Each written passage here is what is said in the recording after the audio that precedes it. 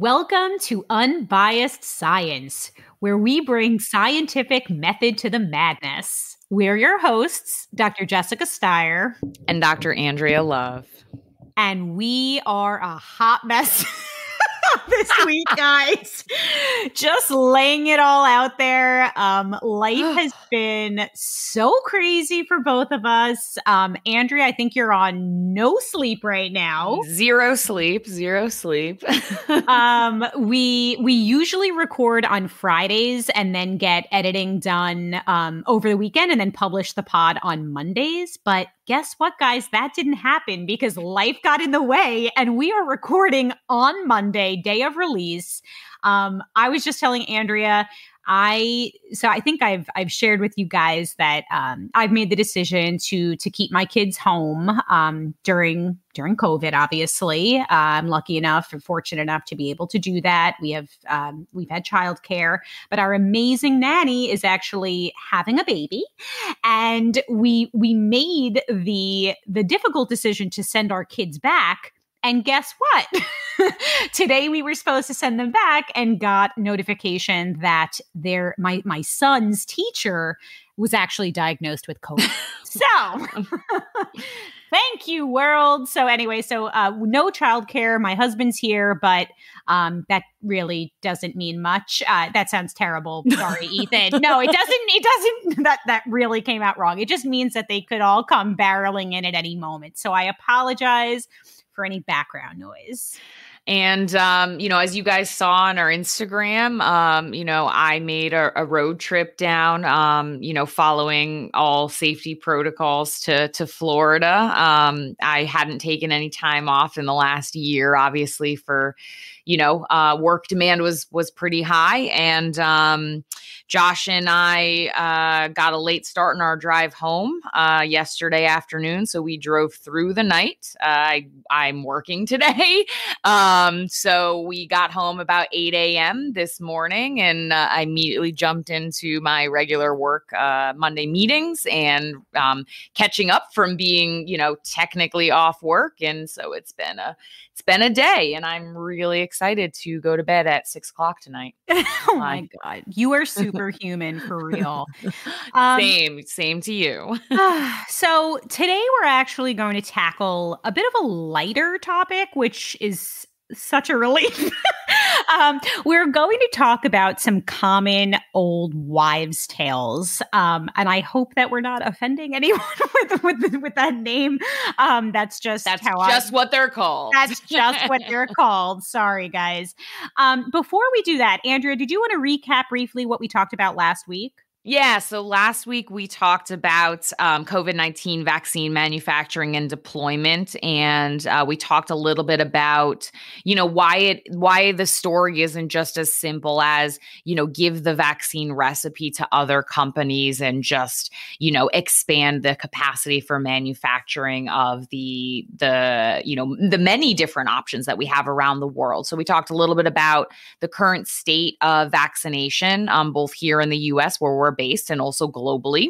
Uh, we talked about, you know, the fact that there are many countries, um, you know, when I last checked, 130 countries who didn't have any doses of any vaccines yet. Um, we talked a little bit about the different bottlenecks that are, um, you know, providing challenges to really ramping up vaccine manufacturing, distribution, storage, and administration. So there's multiple layers of bottlenecks there. There's actual manufacturing bottlenecks and raw material, supply chain issues. There is, um, bottlenecks associated with the actual distribution and storage.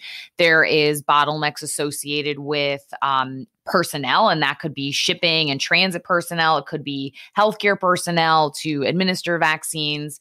Um, and of course, there are limitations on instrumentation and equipment that we need for um, all the manufacturing. So it's not, you know, as straightforward a story as many people think. Um, but we also did talk about some of the plans to overcome some of those bottlenecks. And since we recorded that episode, um, Johnson and Johnson, their one shot uh, one dose vaccine. It's an adenovirus based vaccine, has been granted FDA emergency use authorization in the US.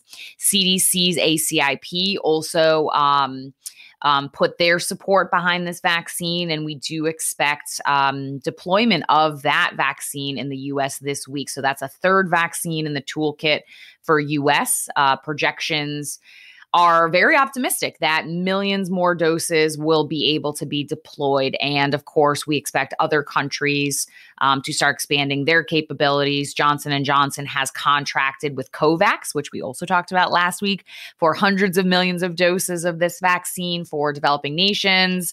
We actually just posted the ingredients and why they're in the vaccine uh, today on our social media pages.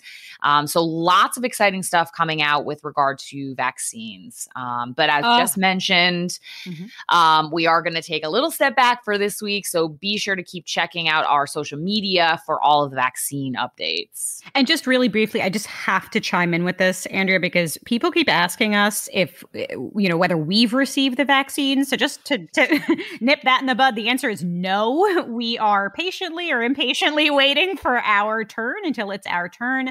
Um, no, we are we are not getting special access no. to, to the vaccines, unfortunately. and and you know it's so funny, Jess, because technically, you know, where I am in Pennsylvania, I'm uh, I'm you know a one A employee. Um, you know, I I handle infected samples in in biomedical research. Um, but you know, there there's not a lot of transparency. There's not a lot of access. Um, so I'm I'm hopeful, you know, for myself, um, that that I'll be able to get my dose soon. Um, I know that compared to some other people, I am, you know, lower risk. I'm a younger individual and I'm relatively healthy, but that doesn't necessarily mean that I'm not, you know, I'm immune to getting sick and and you know potentially having severe effects. Um, and I think something that's worth mentioning is we've been asked this you know, if we have a preference, and I think Je- I can echo, you know, I can speak mm-hmm. for Jess here, we will get whatever vaccine is available when it comes our time. They are Happily. all, yes, they are all great options. They are all beneficial at um, reducing severity of illness, reducing symptomatic illness, reducing hospitalization, reducing death. And actually, there are now emerging data that suggests that they can also reduce asymptomatic um, infection and possibly also transmission. So they're all great options. They all have benefits, they all have some challenges. And of course, we've posted about that too. We sure did. so okay so let's let's dive into today's topic these old wives tales. And we actually we, we posted on our instagram uh, asking folks to to chime in with some of the old wives tales that you've all heard. And we received so many responses. So it seems like this topic will span two episodes. I don't think we'll be able to get through everything today. Let's kick things off talking about a very common old old wives' tale that I heard quite a bit growing up. Andrea, I'm sure you heard it too, which is that you're supposed to feed a cold but starve a fever. So, Andrea, can you kick us off? talk mm, my gosh yes. So this idea um and and of course we don't know for sure but it likely originated sometime during the middle ages which was you know anytime between four the 400s to the 1400s and this was um back when people believed there were two kinds of illnesses. And of course we didn't know about germ theory and we didn't know about different types of microorganisms and things like that. And and people back then also had these very antiquated thoughts on body temperature. So um you know the the logic was colds and fevers were two different classes of illnesses. And if someone had a cold, they actually believed that the body of the afflicted person literally became colder. So, in order to warm up their body, and I have warm up in air quotes here, um, they would feed that person, right? And and the opposite was true if someone had a fever. So, if someone had an elevated temperature, the logic was to not eat would then cool that patient down. Um, and that's kind of where that adage comes from. And they've also sorry, go ahead, Jess. Well, I was just going to say, I actually found something that um, said that we could trace this to this 1574 dictionary by some guy, John Withals. I hope I'm pronouncing that correctly, um, which noted that, quote, fasting is a great remedy of fever. And exactly as you said, it, it, there's this belief that eating food may help the body generate warmth during a cold, and that avoiding food may help it cool down when overheated. Uh, but Andrea, you could tell us how the immune system actually works. right. So so you know, let's kind of kick that off with this is obviously a myth. Um this is, you know, not not something we want to kind of ascribe to. Um so, you know, we did talk about kind of immune system function in our um spilling the immunity episode. So, you know, we do encourage you to tune into that one, but but ultimately the immune system needs a few key things for proper function.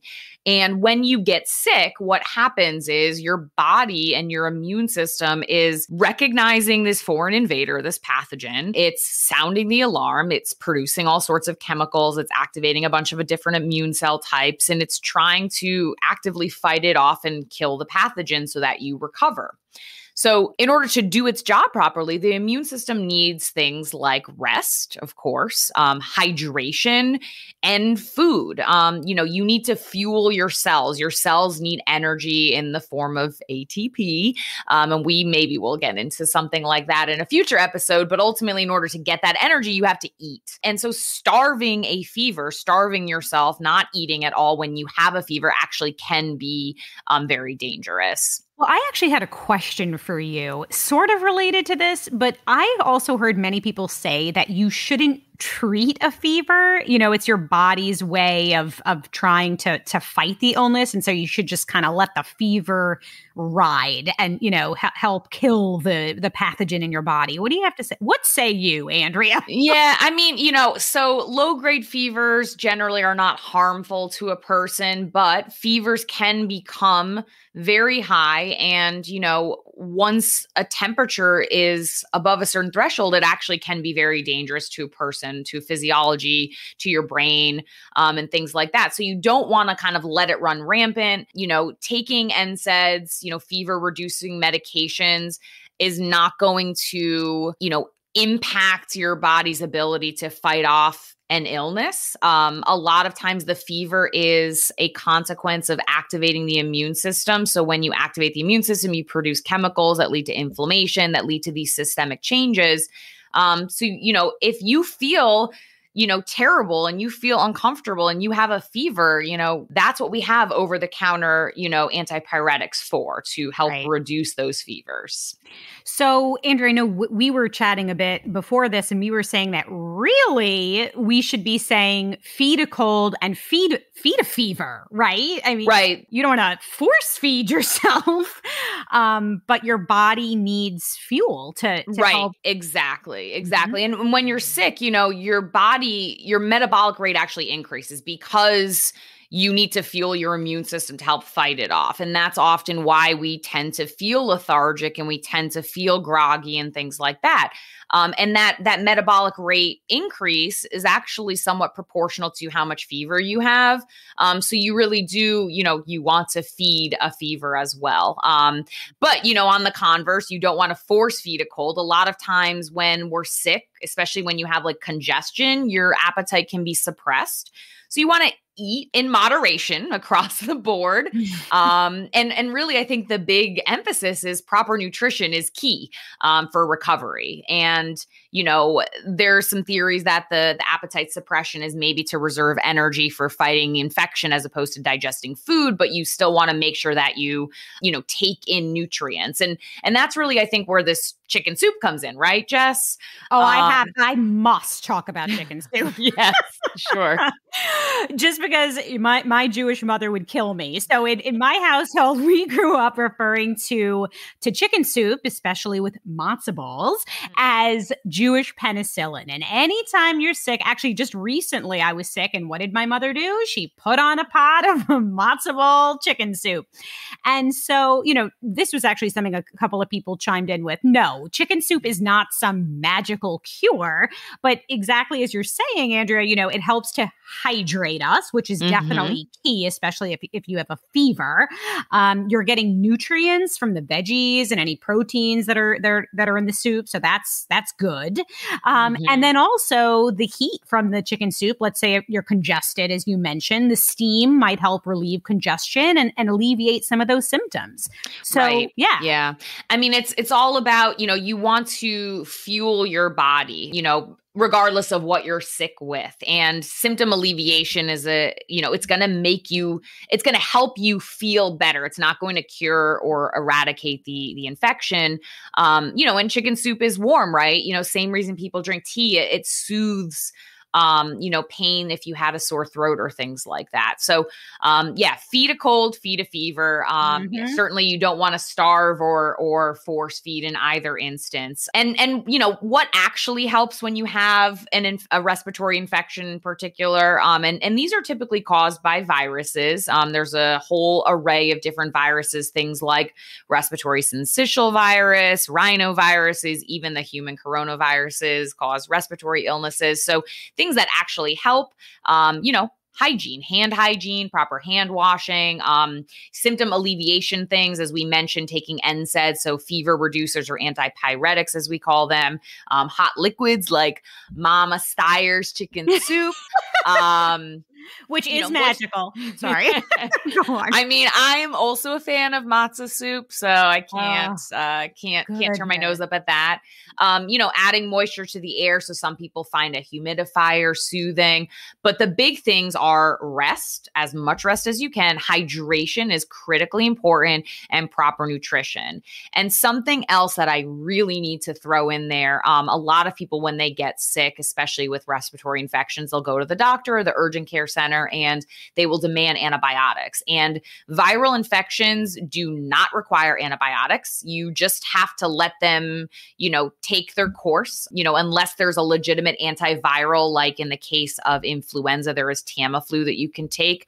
Um, but antibiotics are not helpful um, when treating viral infections. Right. So for something like the common cold, which is caused by rhinovirus, you mm-hmm. don't want to take an antibiotic because, again, it's a virus and viral infections do not require antibiotics. So, yes, that's a very, very important point to make. Okay. Exactly. All right. So, Anything All else on this, or can we move? On? No, no. I think yeah. Let's um, let's let's jump into the next one, which is kind of related. I think so. Uh, I'm going to let you kick it off, but this is another one that we hear and I've heard since I was a little kid.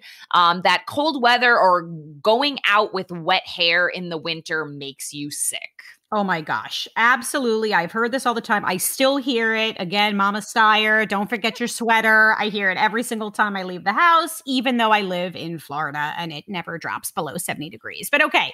So, this is a really great example of something that we say time and time again, which is that correlation does not equal causation. So, we know, and we'll talk more about this in a second, Andrea, I'm sure you have a lot to say about this, that many people, well, we know that respiratory respiratory infections tend to be more common in cold weather.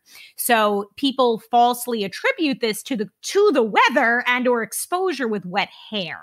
But it's not the wet hair or the cold weather that is causing the sickness, right?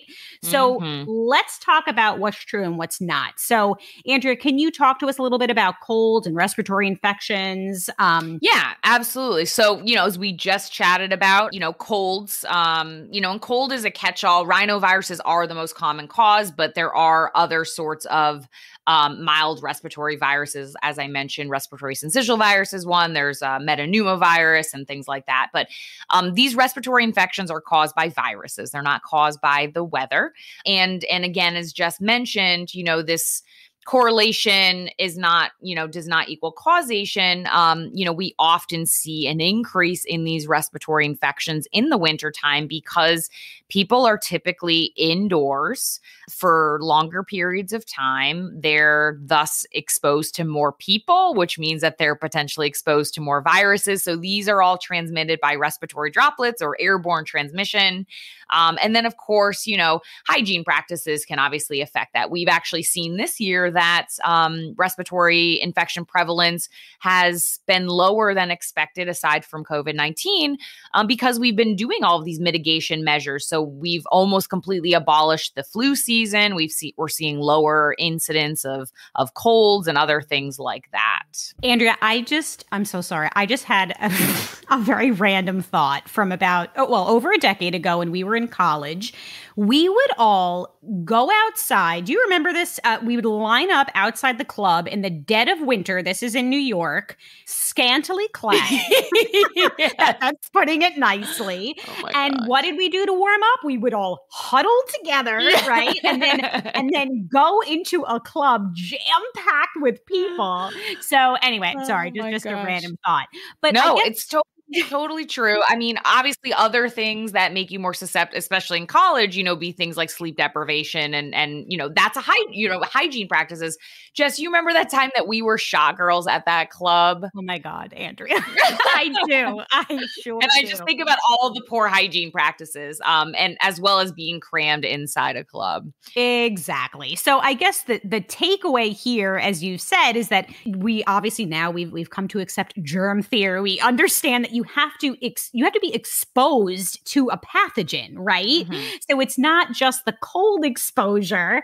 Um, it's actual you have to still be exposed to something. So um, I, I, was reading up. I'm sure you have um, some some research that you want to cite. As you said, some viruses are more likely to spread during cold weather, right? So we've talked about the rhinovirus. That's um, the the main cause of the common cold. As you said, there are other viruses that can lead to the cold.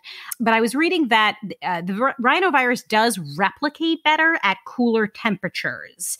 I, am I'm, I'm waiting for you to chime in and say, actually, that's not true. But um, I'll jump in when you're okay. okay. So I was reading reading one study that found that immune system cells initiate a more robust antiviral defense at lung temperatures versus nasal cavity temperature. And we know that the, the body, uh, excuse me, the temperature of our bodies is going to be warmer than what's in our in our noses, right? In our nasal cavity. So, you know, this might mean that the body may not fight the virus as well if the temperature in the nose and the upper airway is lowered by environmental cold. Some other studies that I was reading assert that the flu virus is most stable in cool, dry temperatures. But then there were other studies that show that the disease is also prevalent in humid, warm climates. And I can attest to this living in Florida the flu exists here, right?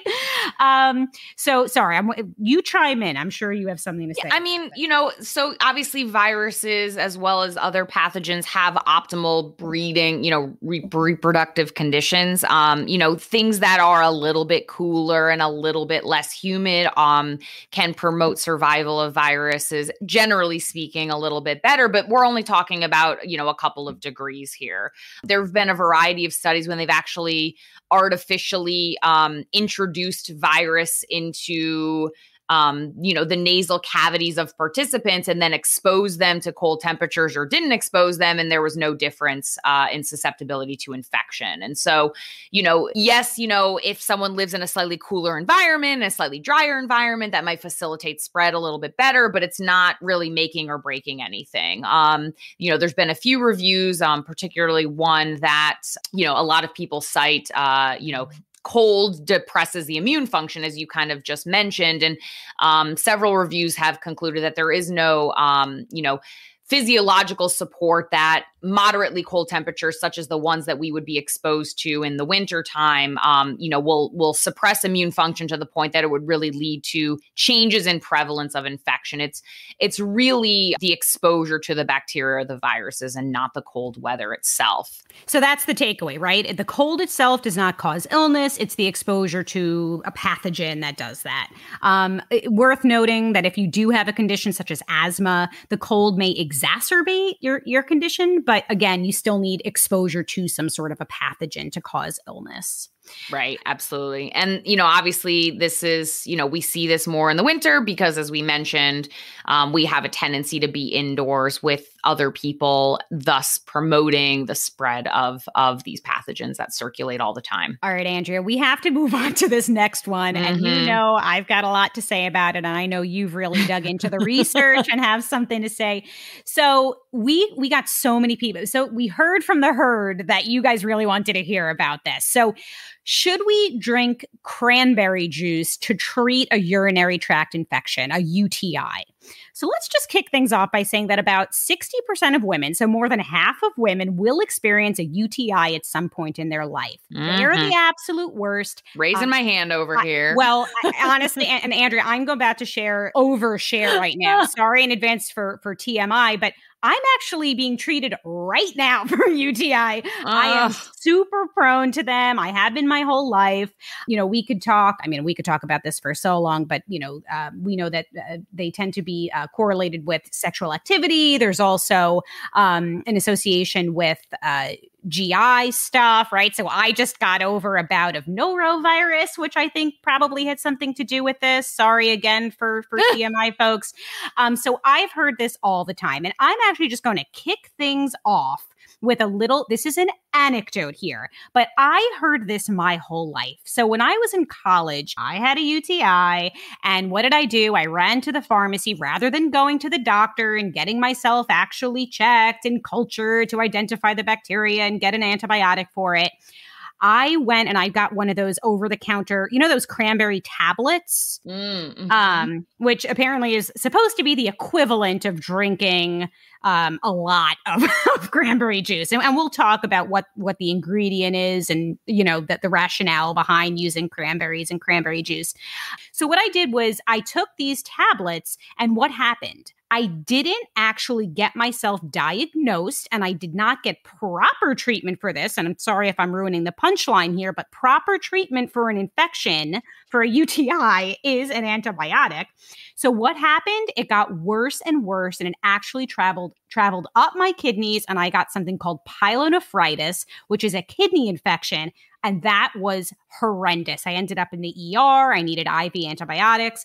So I just need to preface that if you think you have a UTI, please get yourself to the doctor.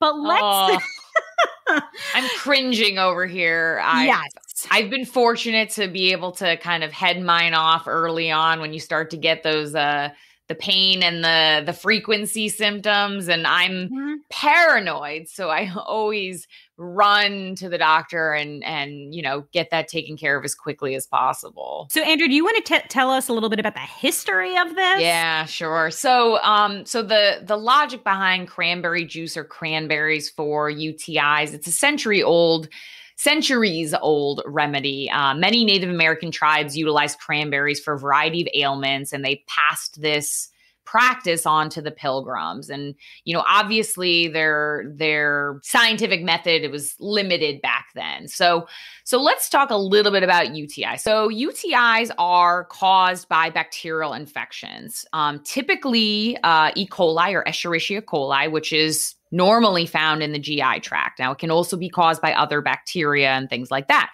Um, ultimately, what's happening is bacteria are introduced into the urethra, um, also the bladder, and eventually can spread to the kidneys, um, as just mentioned, um, if they're left untreated.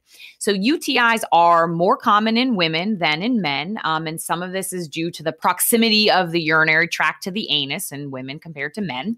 Um, there is some indication that these can be exacerbated or caused by sexual activity and other STIs. Um, but ultimately, what happens is bacteria get introduced into the urinary tract where they don't belong and they colonize. And what they do is they form something called a biofilm, which is like a network, uh, a layer of bacteria that is very, very um, resistant to being cleared. So, um, and the reason I mention this is because there's actually a little bit of science behind the rationale um, regard to using cranberry juice. And this is the presence of a compound called proanthocyanidins in cranberry. And this compound, PAC, has been thought to inhibit the ability of these bacteria to attach to the cells in that urinary tract. So if they can't grab onto it and they can't form this biofilm, then they can't colonize it. Um, so there's been some in vitro studies where they looked at the actual PAC compound in in basically petri dishes and said, "Oh, well it it can actually reduce the ability of E. coli to attach and things like that. But of course, we know that in vitro is not the same as in a person.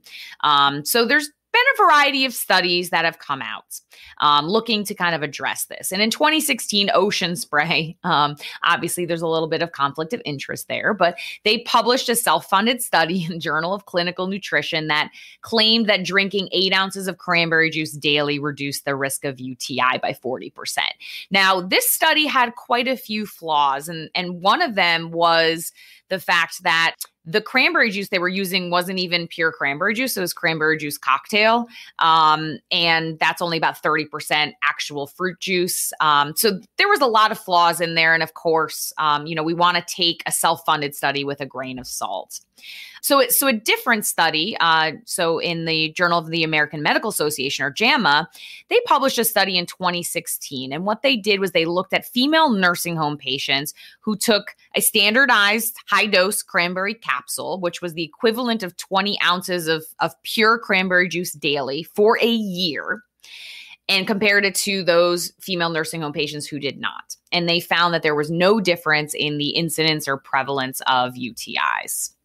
Um, now, obviously, there have been a, a few other studies. Um, Jess, I'm going to hand it over to you to summarize a couple of those. Sure, sure. So there was a meta analysis performed that actually analyzed 24 studies. So in total, across the studies, there were just under 4,500 participants to assess whether there's evidence to recommending cranberry juice for UTIs. And they concluded that there was no evidence um, to suggest that UTIs can be cured or prevented by cranberry supplementation. And this was true for the occurrence of UTI as well as the recurrence of repeated UTIs. And uh, this was also found across different demographic groups as well. So then the European Food Safety Organization concluded, um, you know, they came to a similar conclusion uh, on the basis of data presented. The panel concluded that the claimed effect is prevention of adhesion of E. coli to uroepithelial cells, which is a risk factor for developing UTIs. However, a cause and effect relationship has not been established between the consumption of Cranmax, which I'm assuming is cranberry juice that's common in in, in Europe. Um, I think it's a I think it's like a cranberry pill, cranberry oh supplement. cranberry pill. Oh, like yeah. AZO here. Yeah, maybe. yeah, yeah. Um, and reduction of the risk of UTI by inhibiting the adhesion of certain bacteria in the urinary tract. So, yeah, so just mm-hmm. that's basically saying that, you know, that that PAC compound that, you know, they thought in cranberries might reduce the the ability of these bacteria to form these biofilms. Um, you know, at least in this study that was reviewed by the European Food Safety Organization, there was no evidence that those supplements actually had any sort of beneficial effect on reducing UTIs. Well, and a big issue that you touched on, I would think, is that there's got to be so much variation across, you know, we're talking about different supplements, different juices, and you know, it all I'm sure that the the concentration of that compound that you mentioned earlier, you know, PAC, uh, you know, that that might also uh, impact outcomes. But you know, that's a great point and I think I remember I can't remember the actual dosage, but they were saying that in order to actually exert a physiological effect. It was it was more more than you could possibly consume even if you were essentially max, maxing out on cranberry juice um, daily. So um, i think that's a good point. You know it's not the dose makes the poison but it's dosage matters right? Too right. so even if this molecule that's present in cranberries may have some effect, it might not be physically possible to actually consume the amount of it that you would need to actually exert that effect. So, bottom line, Andrea, is that um, clinical studies on the efficacy of cranberry juice and extracts for preventing UTIs are conflicting at best, right? You know, to your point, if we really can't even consume the amount of that compound needed to to, to truly uh, prevent or treat UTIs. If you suspect at all that you have a UTI, you need to go to your OBGYN or to your to your physician or to your medical provider and get yourself diagnosed and get proper treatment. Right. Anything else? And I think say? I, yeah. I think one other thing um, that's important. You know, we talk about E. coli is the most common cause of UTIs, but it can be caused by other bacteria. And you know, there are different classes of antibiotics, and of course, you want to make sure that you take the best medicine for your infection. So, going to the doctor and getting cultured and really identifying what you're infected with is also going to improve your treatment as well. Exactly. Okay. Let's maybe we can um round things out here with this with this next old wives tale that I've always found kind of disgusting. Um a lot of people wrote in with this and it's that raw you you should put raw cut onions in your socks overnight to cure cold. Have you heard this one Andrea? I have, and I also need to say that this is um, very popular among the, I don't want to say anti science or the fringe science crowd. And they talk about how, you know, this sucks all the toxins out of your body and things like that. Um, I love that phrase. Right. Yes. Right, yes. right. So, you know, the story goes that if you have a cold or the flu, you should slice an onion into rounds and place them on the bottoms of your feet, put on a pair of socks, and leave them on overnight as you sleep. And then in the morning, you're going to wake up feeling great, cured of your illness. I, this just seems like a stinky, slimy mess. and as we're going to talk about, there's no science behind this. Sorry to ruin the punchline there.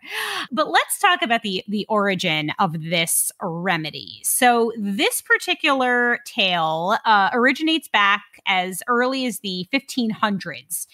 I did not know it, but apparently there's a National Onion Association. By the way, I love onions, so I am I am pro onion. um, and so it was widely believed that placing again placing raw cut up onion around your home they were this is what the, sorry this is what the national onion association said that back you know as early as the 1500s it was widely believed that placing raw cut up onion around your home could protect you from the bubonic plague now i really want to do an episode andrea on Oh, sort of the, hi- the yes. history of epidemiology um, so back in the day during those times people thought that infections were spread by something called miasma which was Mhm. literally just like stinky air right poisonous Right. noxious air People thought originally, before we knew that the bubonic plague was caused by, you know, Yersinia pestis, which is a bacteria transmitted by infected fleas, they thought it was spread by basically the the sewage air that was seeping up,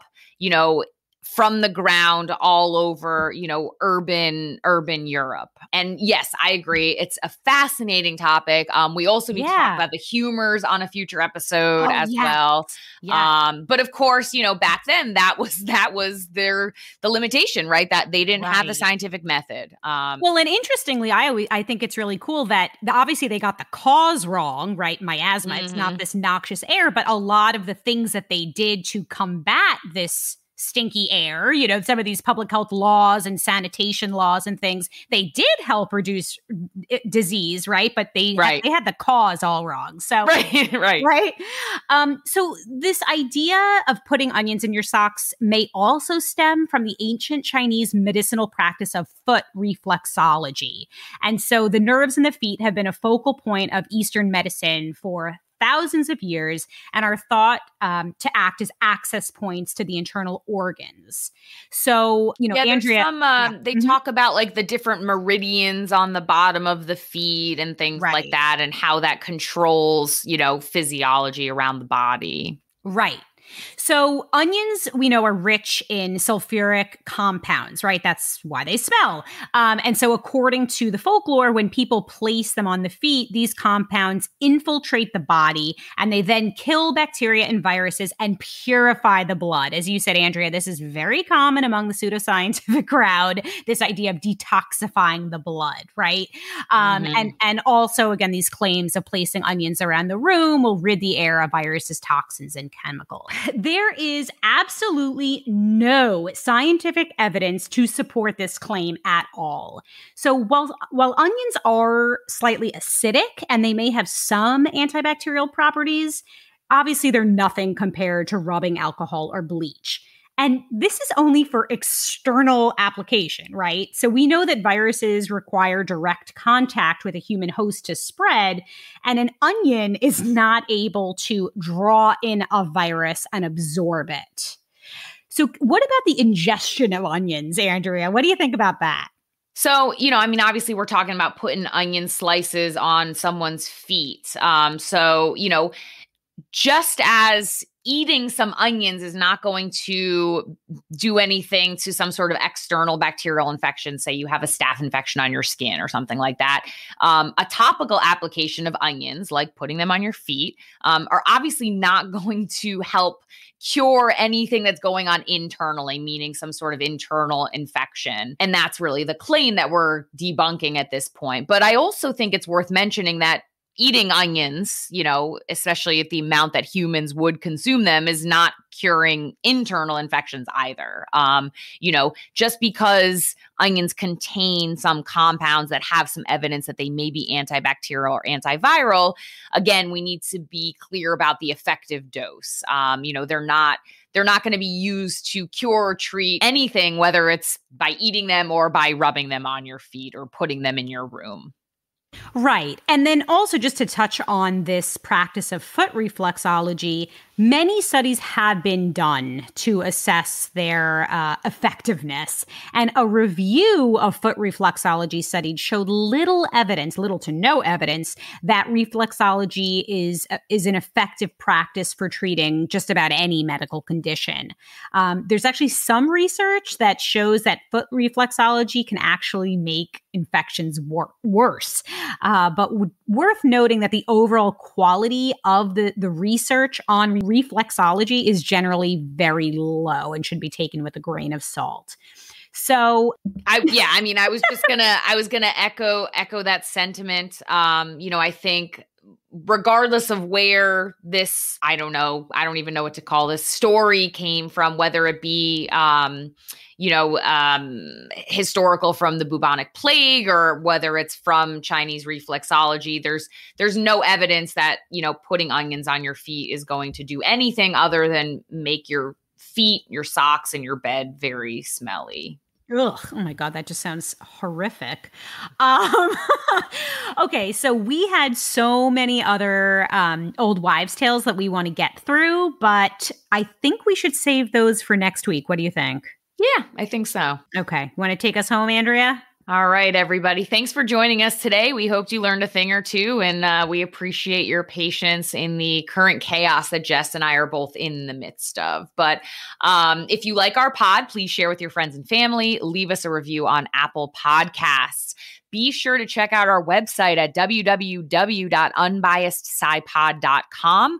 You can see all the links to the studies we discuss on every episode. Um, you can also listen to our episodes directly there if you're not into the apps. Um, you can also pick yourself up some unbiased science merch or leave us a donation. Um, next week, we're just going to do uh, part two of the health related old wives' tales and what the science actually says.